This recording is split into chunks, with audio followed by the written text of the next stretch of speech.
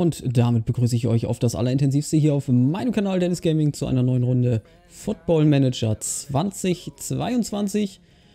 Und äh, ja, wir machen weiter. Ich bin zumindest schon mal in den nächsten Tag gesprungen. Oh, jetzt muss ich für mich mal die Musik etwas leiser machen. So, schon viel besser. Ähm, in den nächsten Tag gesprungen, das heißt, heute ist Spieltag, Matchday. Und zwar gegen die B11 äh, unseres SV Werder Brems. Und ähm, an allererster Stelle möchte ich einmal Danke sagen an den äh, lieben Hardy30680. Der hat nämlich kommentiert äh, unter dem letzten Video und ein paar Anregungen gegeben. Äh, unter anderem als Anregung, dass wir das Mittelfeld äh, in der Form umbauen, dass wir zwei zentrale Mittelfeldspieler haben. Ähm, sprich, äh, hier auf der Höhe von M-Bomb. Das sähe dann so aus einen davon offensiv agierend, einen defensiv. Hm, kann man machen. Hm, werden wir auch mit Sicherheit testen. Ich würde erst einmal hierbei bleiben wollen. Aber es spricht auf jeden Fall nichts dagegen, äh, da auch mal ein bisschen was anderes zu machen. Ähm, auch gerne in dem Testspiel schon. Ähm, des Weiteren hat er geschrieben, äh, Toprak verkaufen, okay, um Geld in die leere Kasse zu spülen, ja. Äh, wir werden auf jeden Fall noch äh, Transfers haben, wir werden auf jeden Fall Spieler abgeben müssen. Ähm, wir haben auch zwei Anbo Angebote bekommen zum Beispiel, da gehen wir gleich hin ins Postfach. Äh, unter anderem für den Simon Straudi und für den Romano Schmid, den ich natürlich theoretisch gerne halten wollen würde. Aber das wird natürlich sehr, sehr schwer. Und theoretisch brauchen wir auch das Geld. Müssen wir mal gucken, ob das klappt äh, oder wie wir da verfahren. Ähm, dann hat er noch geschrieben, wenn Füllkrug noch dieselben Werte hat wie im 21er. Das weiß ich jetzt natürlich nicht. Ich habe den 21er nicht gespielt. Äh, dann ist er einer der besten Stürmer der zweiten Liga. Ge sollte man von ausgehen, ja, dass ein, ein Füllkrug mit so viel Erstliga-Erfahrung in der zweiten Liga auch sehr gut bestehen kann. Ähm, Müssen wir mal gucken, ob wir den halten können oder ob der weg will, wie auch immer. Das, äh, das wird sich alles so ein bisschen jetzt noch ergeben in den nächsten äh, zwei, drei Wochen. Beziehungsweise, wie lange hat das Transferfenster offen? Ne, das hat ja noch deutlich länger offen. Äh, in den nächsten sechs Wochen, genau. Äh, und dann kam noch, äh, dass er besser passen würde, beziehungsweise, dass ich ihn dann äh, als pressenden Stürmer spielen lassen könnte. Ähm, aufgrund der Taktik, Tiki-Taka. Ähm, hoch verteidigen, stark pressen. Ja, da, da, spielt dann eigentlich auch wieder in die Karte, den, äh, das Mittelfeld hier zu verstärken, sprich zwei äh, zentrale Mittelfeldspieler. Hm, müssen wir mal gucken. Und bei Standards ist er torgefährlicher als äh, Dingchi. Hm, ja, das ist er. Er hat ja eine gute, hat ja gute Kopfballwerte. Äh, zum Beispiel Kopfballtechnik, Sprunghöhe. Das sieht natürlich ganz gut aus bei ihm. Ähm, aber ich möchte auch ganz gerne den, den Dingshi mit äh, einbringen. Man kann das natürlich auch tauschen. Wir können äh, Füllkrug von Anfang an und äh, Dingshi dann reinbringen. Das können wir mal im zweiten Testspiel so machen. Gegen, ähm, gegen Wolfsburg. Da können wir das ruhig andersrum machen. Da bringen wir dann Füllkrug zuerst und dann Dingshi. Ähm, des Weiteren habe ich noch mit in den Kader jetzt genommen Fabio, ich hoffe, ich spreche es richtig aus, Chiarodia. Ich habe mal, glaube ich, gehört, dass das CH hier in dem Fall als K ausgesprochen wird. Bin ich mir aber nicht hundertprozentig sicher. Und den Nick Voltemade habe ich hier auch mit reingenommen. Und äh, dann haben wir ja, unseren Kader soweit zusammen. Pavlenka und Bittenkurt sind verletzt. Äh, Golla ist ähm, verliehen. Kann ich auch eigentlich... Äh, nicht verfügbare Spieler rausnehmen. Oh nee, das ist. Nee. Nicht im Verein nehmen wir raus, so. Ich würde eigentlich schon ganz gerne immer sehen, wer hier unten sonst noch so ist. Äh, und den äh, Mio Backhaus, äh, Torhüter Talent. Den habe ich auch noch mit reingenommen. 17 Jahre alt. Dann haben wir zumindest erstmal hier einen zweiten Keeper. Der Plogmann ist nämlich verletzt. Und der Dos Santos Cesela ist verliehen. Und deswegen konnte ich die nicht nehmen. Ähm, jetzt schauen wir uns einmal kurz den Posteingang an. Wir haben, wie gesagt, ein Angebot für Romano Schmid von Crystal Palace und von Watford. 1,7 insgesamt, 1,5. Ähm, diese 1,2 sind äh, Ablösesumme sofort und der Rest ergibt sich dann ähm, quasi als Ratenzahlung. Und äh, für Simon Straudi. So, ich finde das aber insgesamt leider ein bisschen sehr... Hm. Also 1,7 bei einem Marktwert von 3,4 bis 5,2. Klar, wir sind in der zweiten Liga, wir brauchen das Geld. Aber eigentlich will ich ihn halten und deswegen würde ich eigentlich versuchen wollen, ihn zum Bleiben zu überreden. Oh je, der geht schon gleich negativ ran. Ich will aus dem an mir gezeigten Interesse schon was machen. Ich hoffe, wir können uns auf etwas verständigen, womit beide Seiten leben können. Eieiei.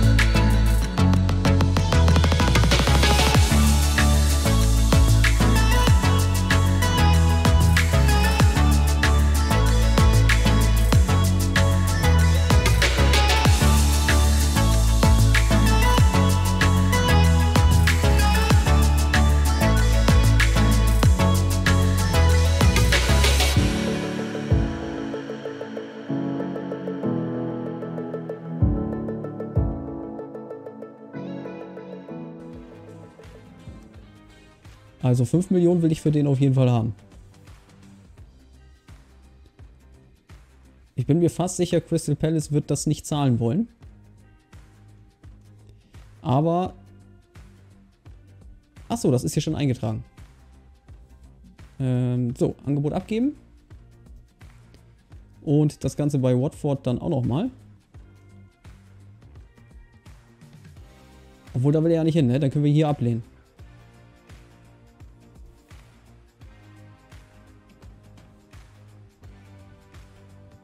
Dann können wir das ja ablehnen.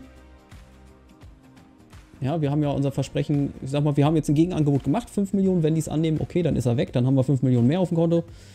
Äh, ansonsten bleibt er eben bei uns über die Saison hinaus, beziehungsweise äh, für die kommende Saison. So, äh, Simon Straudi. Hm.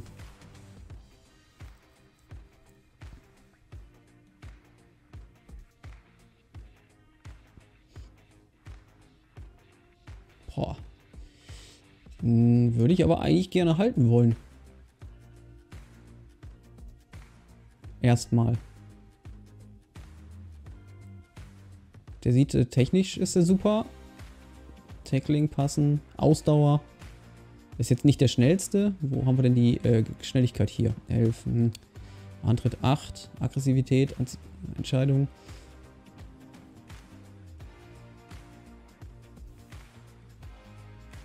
Der auf dem, auf dem Dingens? Äh, lass mal gerade gucken. Ist er auf der Transferliste?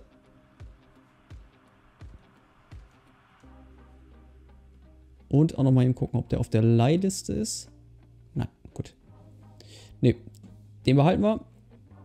So, fortfahren. Äh, jetzt ist gleich... Oh. Er ist frustriert, dass ihm ein Wechsel zu Torino verwehrt wird. Da Straudi kann... Müssen wir keine... Nö, da sprechen wir selber mit Straudi. Äh, Einzelgespräch.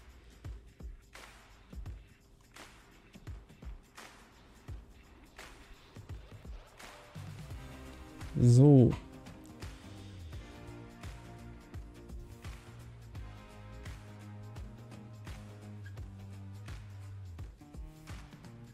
Siehste.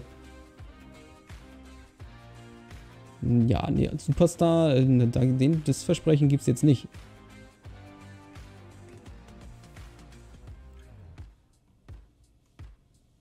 Also, das, sorry, das kann ich nicht machen.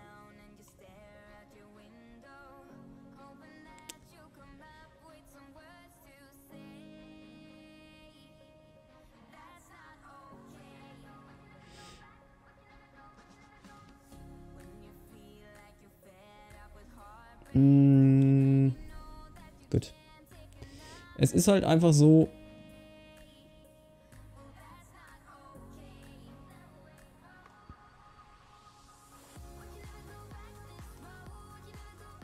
Warte mal, wir nehmen die, die vorgeschlagenen. 1,3. So. Wie gesagt, wenn ihr noch Tipps, Anregungen, Ideen habt, äh, immer in die Kommentare.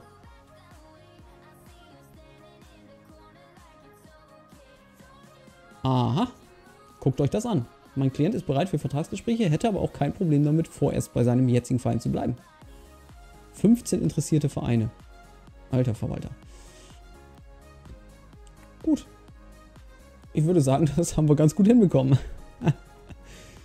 so, Einführung Mannschaftsgefüge. Das gucken wir uns äh, nach dem Spiel an, beziehungsweise schaue ich mir das dann ganz in Ruhe an. Äh, wir machen jetzt äh, auf jeden Fall noch das Spiel, sonst äh, kriegen wir das in dieser Folge doch nicht. Muss ich das echt? Äh, zumindest im Kader vorstellen muss ich mich. Hm. So, ich will mir keine Versprechen abgeben, aber ich will über unsere sportliche Erwartung in dieser Saison reden. Ich werde versuchen, das Mittelfeld zu verstärken.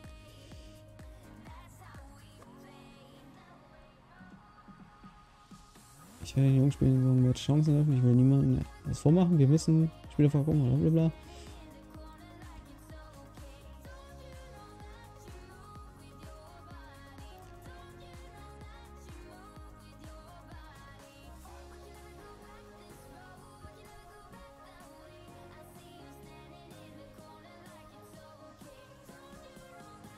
dass wir die entscheidenden Runden... Uh. Über. Ihr könnt auch einfach ein bisschen Gas geben, Leute.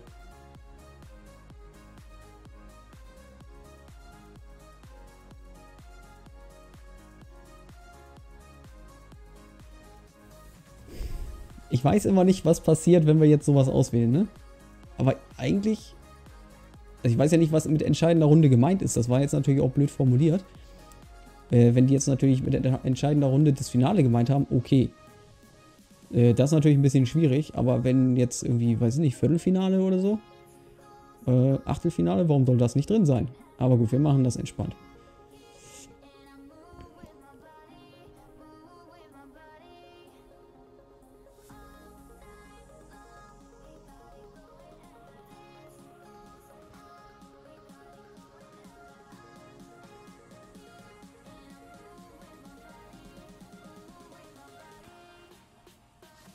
Ich bin mit dem Stammkatalog zufrieden und erwarte keine großen Auswirkungen im Laufe der Saison. Super, so habe ich mir das vorgestellt. Da wir uns jetzt alle einig sind, erwarte ich von euch, dass ihr akzeptiert.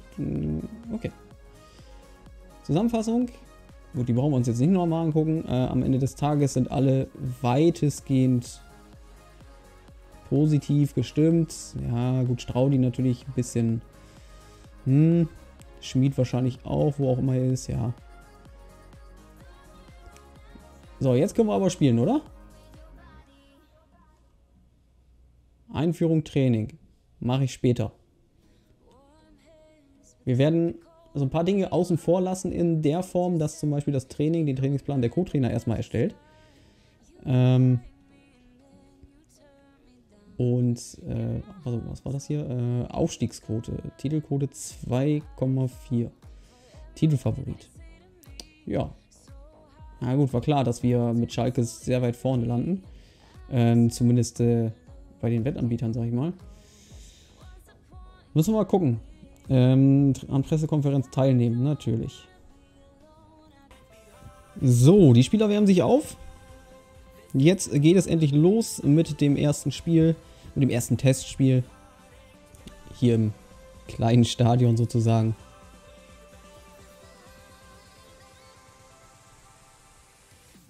So, Spielvorschau. So starten wir. Ich bin gespannt.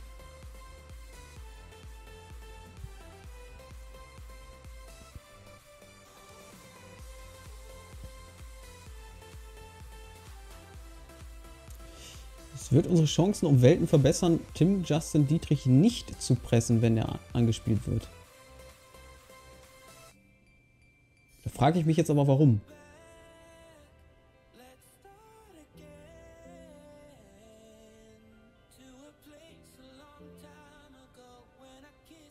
Verstehe ich nicht ganz. Wir machen es jetzt mal, aber das muss ja einen Grund haben, warum da steht, um Welten verbessern. Äh, aber verstehen tue ich es nicht.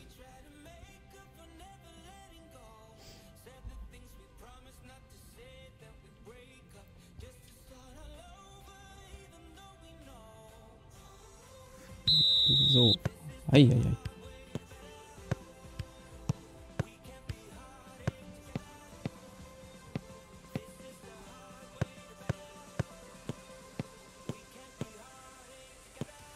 Okay, das klingt ja ganz wild.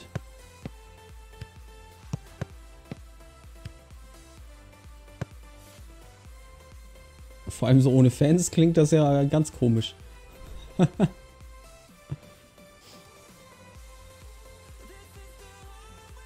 so, ich habe jetzt hier eingestellt, dass wir nur die Highlights äh, quasi im Spiel sehen. Und ansonsten müssen wir uns so ein bisschen hier auf die Taktik verlassen. Das, was da unten steht, das kann ich kaum lesen. Das ist immer so schnell vorbei.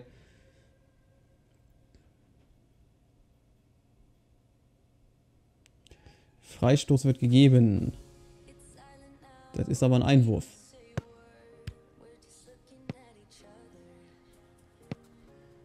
Alles klar.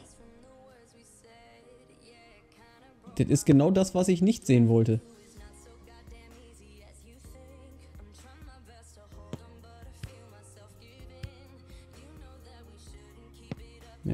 Brauchen wir uns jetzt nicht fünfmal angucken. Ähm, Leute, so nicht.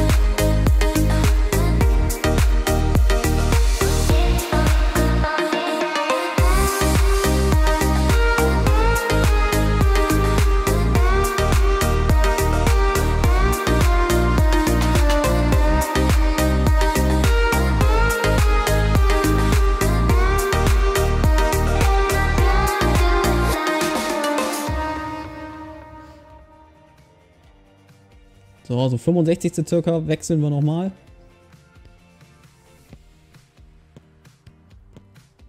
Rapp auf Agu, Agu in die Mitte, da ist Marvin Duksch und da ist Füllkrug nach Vorlage von Marvin Duksch und Vorvorlage von Felix Agu. Da ist der Ausgleich.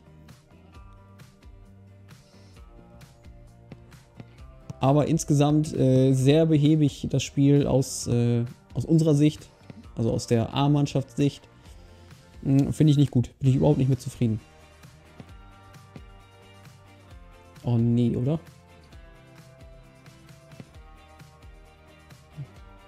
Nee, war kein Absicht. Ich dachte gerade, warum ziehen die da so eine Linie? so. Oh, jetzt warten wir nochmal eben den Freistoß ab. Schade, Alu-Treffer, glaube ich, ne? Wenn ich das richtig gesehen habe. Aber pausieren. Ich möchte nochmal wechseln. Und zwar würde ich ganz gerne, wir gucken auch mal, wie die ähm, wie die Kondition ist. Das sieht ja insgesamt hier auch bei den Spielern noch recht gut aus. Heißt aber vielleicht im Umkehrschluss auch, dass sie nicht so wirklich viel gelaufen sind. Ich würde sagen, wir tauschen einmal komplett durch. Ich würde auch dem Mio Backhaus eine Chance geben wollen. Ähm, Rapp geht... Äh, Quatsch. Ja doch, Rapp geht raus. Dafür Christian Groß rein. Velkovic bringen wir für... Für Friedel. Und dann tauschen wir hier die Positionen. Ähm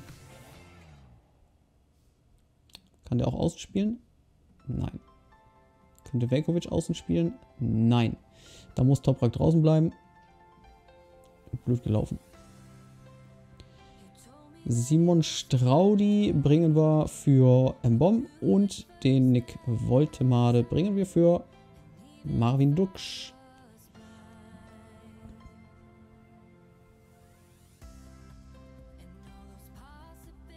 verteidigen. Und Voltemade. Ich weiß nicht, warum das hier ähm, ja, Silber sozusagen ist. Weil das etwas ist, was er noch erreichen kann, oder? Oder ist das schon? Nee, das wird wahrscheinlich etwas sein, was er erst noch erreichen kann, glaube ich, ne?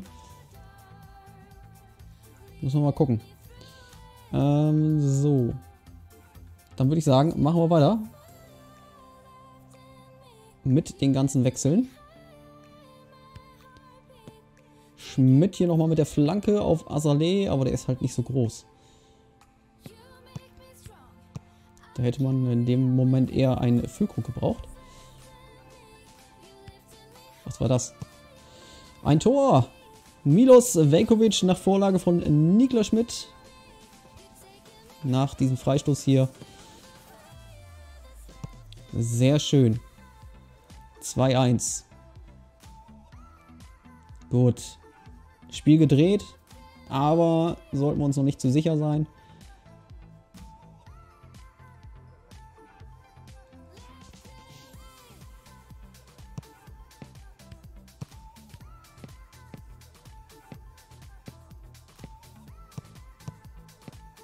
Assalé hier, Ball abgefangen. Nick Woltemade hat jetzt hier die Chance. Nick Woltemade. Oh, das war zu schwach. Das war zu harmlos. Da muss nächstes Mal muss er da besser draus machen. So, nochmal Einwurf hier von links. Straudi mit dem Kopfball, aber nee, das war nix.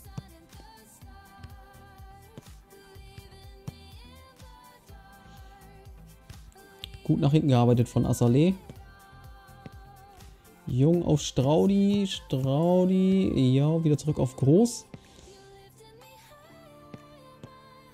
Wir müssen mal gucken, dass wir die Geschwindigkeit von Assalé so ein bisschen ausspielen können. Und dass wir da hinten jetzt mal wieder rauskommen. Gut, schön verlagert. So, und jetzt nach vorne. Sehr schön. Niklas Schmidt mit der Flanke auf Füllkrug. Oh, aber Oh, nicht mal gehalten. Das sah so aus, als wenn er gehalten hat. Als wenn er noch dran war.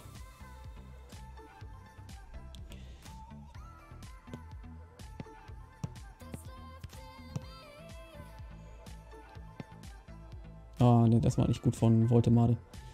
Das war nicht gut von Nick Voltemade. Unnötig. So, Velkovic auf Agu. Niklas Schmidt. Oh, schönes Ding von äh, Niklas Schmidt. Schönes Ding, super gemacht von Voltemade und ah, schade, aber schöner Schuss. Schöner Schuss. Also es läuft deutlich besser jetzt. Ja, so ein bisschen äh, an den Schrauben gedreht. Natürlich jetzt auch andere Spieler auf dem Feld. Äh, wobei ich aber sagen will, es war vorhin vielleicht auch einfach taktisch äh, zu spät umgestellt, einfach die ganzen Sachen. Simon Straudi, Assalé.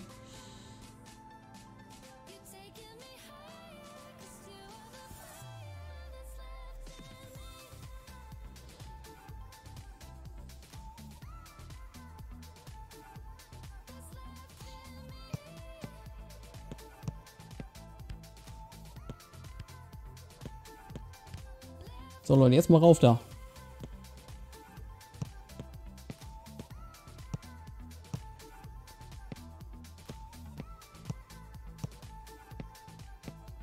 Schön, schön. Hat aber nicht, mit, nicht gut mitgekriegt. Na, da konnte Füllkrug auch nicht hin, der stand im Abseits.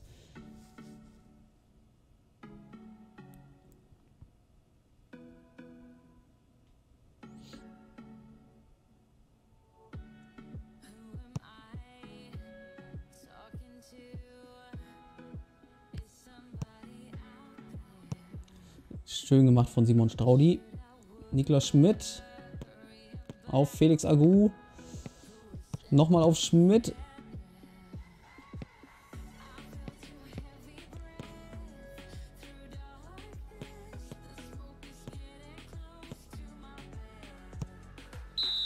Und das gibt einen Freistoß.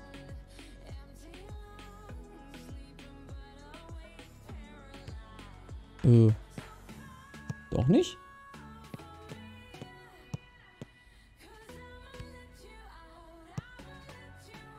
Na gut.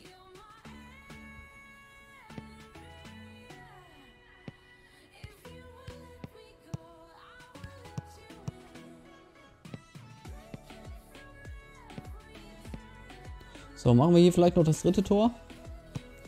Würde mich freuen. Und, oh, wieder Füllkrug. Aber nicht getroffen. Aber wir gewinnen 2-1 nach einem holprigen Start. Und äh, haben uns das dann am Ende, das sehen wir hier an dieser Linie, ähm, auch äh, deutlich verdient. Die B11 stand hier, gar, hat hier ab hier gar nicht mehr stattgefunden.